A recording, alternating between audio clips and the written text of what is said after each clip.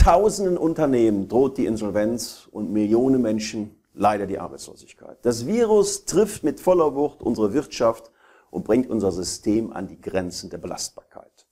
Wir sprechen daher in diesem Video mal darüber, warum viele kleine und mittelständische Unternehmen ja, vor dem Ausstehen, welche vorstellbaren Szenarien für unsere Wirtschaft denkbar wären und welche neue Rolle natürlich der Staat hierbei einnehmen könnte.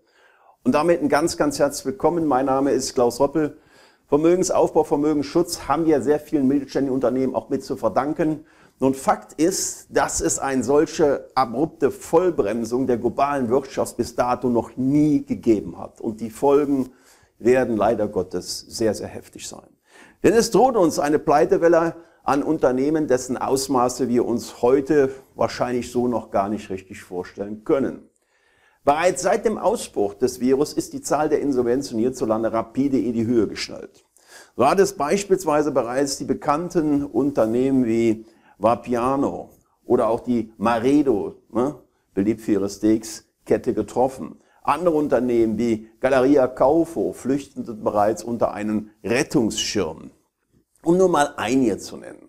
Doch es steht außer Frage, dass viele weitere folgen werden. Zum Zeitpunkt der Erstellung des Videos haben bereits mehr als 650.000 Unternehmen nach unseren Recherchen Kurzarbeitergeld angemeldet. Wenn man bedenkt, dass es selbst zum Höhepunkt der Finanzkrise 2008 gerade mal nur 23.000 Unternehmen waren, die von dieser Möglichkeit Gebrauch gemacht haben, dann wissen wir, mit welcher Geschwindigkeit und Größenordnung wir es hier äh, mit dem Pleitevirus zu tun haben werden. Doch dass damit dann nicht alle Probleme beseitigt werden, ist wohl auch jedem klar. Denn diese Maßnahme verlagert das Problem ja erstmal nur nach hinten. Was droht, ist vielmehr natürlich dann auch eine Massenarbeitslosigkeit in den nächsten Monaten. Zwar versprach die Politik unser Arbeitsminister Herr Hubertus Heil, dass man alles in die Waagschale legen würde, um jeden Arbeitsplatz zu retten. Doch wenn man mal ganz ehrlich ist und weiß, dann ist das auch irgendwo eine Wunschvorstellung, die dauerhaft eigentlich gar nicht so kurzfristig lösbar ist. Denn diese Schockstarre, in der wir uns zurzeit befinden, gleicht den 1929. Lediglich die Ursachen dafür sind andere. Damals brach infolgedessen unter anderem die Industrieproduktion nach und nach um 40 Prozent ein und mehr als 5 Millionen Menschen wurden seinerzeit arbeitslos. Heute versucht die Politik einfach mit überhöhten Mengen Geld, mit pauschalen Zusicherungen und weitreichenden Garantien die wirtschaftlichen Folgen abzufedern aus der Sicht der Politik durchaus verständlich. Doch eins ist sicher. Die zurzeit unternommenen und bereits gestellten Hilfspakete werden auf absehbare Zeit natürlich dazu führen, dass die deutsche Wirtschaft meiner Meinung nach durchaus ja, in eine Staatswirtschaft zusteuert.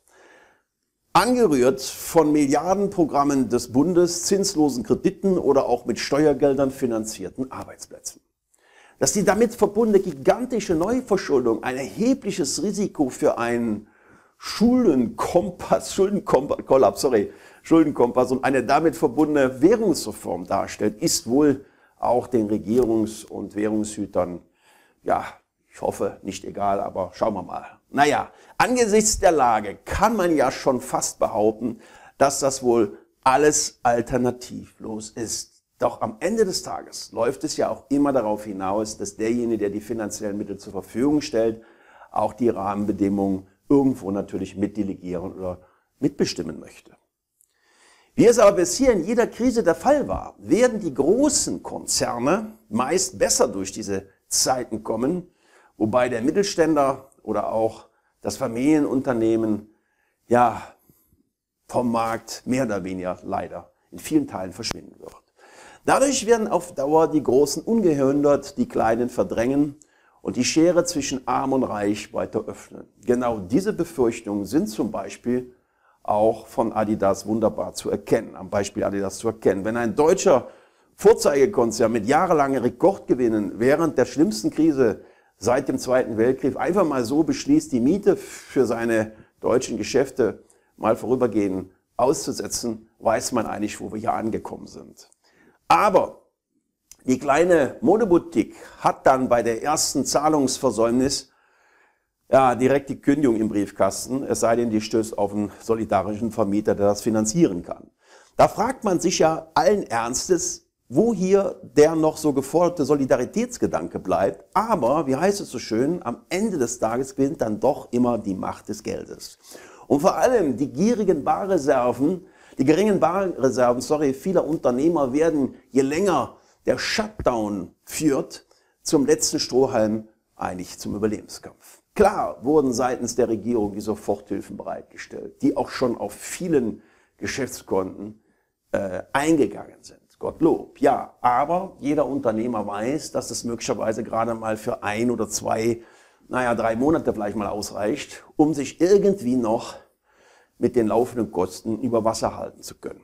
Fakt ist, je länger die Geschäfte geschlossen sind, desto weniger können vor allem kleine Unternehmen die Pleite abwenden und damit ihre Beschäftigten auch nicht mehr beschäftigen. Doch nicht nur die Unternehmer kämpfen mit dieser Ungewissheit, sondern auch die Ökonomen, die sich mit den möglichen Krisenverläufen natürlich jetzt schon auseinandersetzen. Im besten Fall, also so heißt es immer, verzieht es unsere Wirtschaftsentwicklung ein V nach. Das bedeutet, dass sie nach einem kurzen steilen Abschuss wieder sich alles wieder normalisiert. Das ist die eine Theorie. Man spricht dann von einem harten Shutdown von rund fünf Wochen. Nach diesem Szenario würde die Wirtschaft also zum Ende des Jahres äh, nach deren Prognose wieder auf Hochtouren laufen. Wenn man aber mit den Menschen da draußen mal spricht, glauben die wenigstens noch an so einen glimpflichen Ausgang. So sind äh, für den Fall, dass die Corona-Krise aber durch den Sommer hinweg anhält, deutlich andere Szenarien auch denkbar. Hier spricht man dann von einem anderen einer anderen Verlaufsform, nämlich die sogenannte U- oder U-Form, heißt, die Wirtschaftskraft würde abfallen, längere Zeit auf niedrigem Niveau verharren und erst nach zwei oder mehreren Jahren wieder an Fahrt gewinnen können.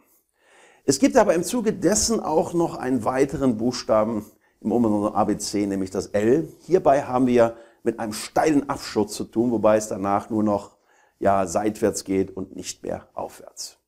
Verschiedene Szenarien also. Die Wirtschaft wäre so am Boden, dass sie nicht mehr in Gang kommen würde.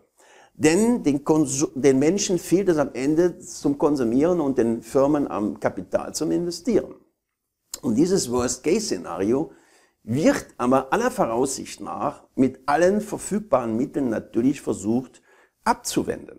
Und dafür wurde ja schon das größte Hilfspaket für die deutsche Wirtschaft in der Geschichte der Bundesrepublik mittlerweile verabschiedet. Insgesamt wurden rund 1,4 Billionen Euro mittlerweile mobilisiert. Zusätzlich könnten Großkonzerne im schlimmsten Fall auch darauf hoffen, dass der Staat sich bei ihnen beteiligt, wie zum Beispiel gleich bei der Lufthansa. Die bereits angesprochene Staatswirtschaft wäre also dann in vollem Gange. Das Ganze soll übrigens über den mit 600 Milliarden Euro schweren Wirtschaftsstabilisierungsfonds geschehen. Hierbei sind der Fantasie auf Deutsch gesagt wohl keine Grenzen mehr durch die Politik gesetzt, um alles Erdenkliche zu tun, um nochmal das Schlimmste doch vielleicht zu vermeiden oder zu verhindern. Doch eine Sache steht dabei jetzt schon fest. Der Bürger, der Steuerzahler wird am Ende für diese unfassbaren finanziellen Aufwendungen natürlich zur Kasse gebeten.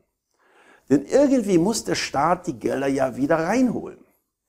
Denn anders lässt sich diese Weltwirtschaftskrise nun mal nicht stemmen. Im Zuge dessen, dass der Staat in einem übergeordneten Maße natürlich in die Wirtschaft nun eingegriffen hat. So hat die Regierung den normalen Wirtschaftskreislauf mit den sogenannten Anti-Corona-Gesetzen bereits jetzt schon mehrfach unterbrochen. Vermieter dürfen Mietern auf Deutsch gesagt äh, vorübergehend nicht mehr kündigen oder Verbraucherdarlehen können beispielsweise bis Juni vorerst mal ausgesetzt werden. Also das sind ja schon Dinge, die mit einer freiheitlichen Demokratie wenig noch zu tun haben. Doch dass kein Mieter wegen der Corona-Krise seine Wohnung, kein Selbstständiger sein Ladengeschäft verlieren sollte, steht natürlich außer Frage. Doch es waren nicht strauchelnde Privatpersonen, sondern eben große Unternehmen wie Adidas, Deichmann, H&M, die als erste ankündigten, ihre Ladenmieten vorerst als präventive Maßnahmen zurückhalten zu wollen. Da sieht man, wo die Reise hingehen kann. Hier ist dann vor allem die Frage nach der Gerechtigkeit und nach der möglichen Stabilisierung unseres Landes durchaus angebracht und die Frage, dass unser Wohlstand dann hoffentlich nicht weiter in Gefahr kommt. Meiner Meinung nach werden wir am Ende der Krise ein neues flächendeckendes Wirtschaftsmodell vorfinden, was sich von der Idee auch der Globalisierung wegbewegen wird.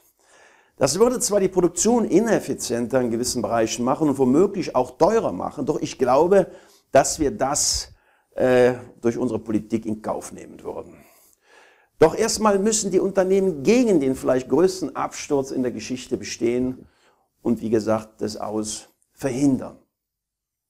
Solltest du dich in diesen Tagen auch fragen, wie es für dich persönlich auch in finanzieller Hinsicht ausgehen kann und weitergehen kann, ob du jetzt ein kleines oder großes Vermögen im Rücken hast, dann bewirb dich vielleicht bei unserem Expertenteam und mir mal für ein Erstgespräch. Und wir schauen natürlich auch in dem Zusammenhang, wie lege ich heute überhaupt noch sinnvoll Geld beiseite, welche Möglichkeiten gibt es denn überhaupt.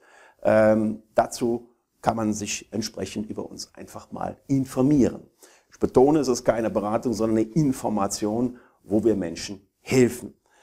Das Ziel ist nämlich, den Wohlstand nicht in Gefahr weiterzubringen, sondern ihn weitestgehend doch zu erhalten. Also trage dich hier unter diesem Video äh, mal für ein Erstgespräch in der Videobeschreibung findest du den Link ein und bleib mir bei all diesen doch nicht gerade schönen Zeiten, die wir zurzeit haben, gesund. Schaut nach vorne. Klar, nach der Krise kommt auch eine andere Zeit wieder und die können wir jetzt schon gestalten. Und dazu seid ihr auch ganz, ganz herzlich eingeladen. Bleibt mir gesund. Bis, bis bald, euer Klaus Hoppel.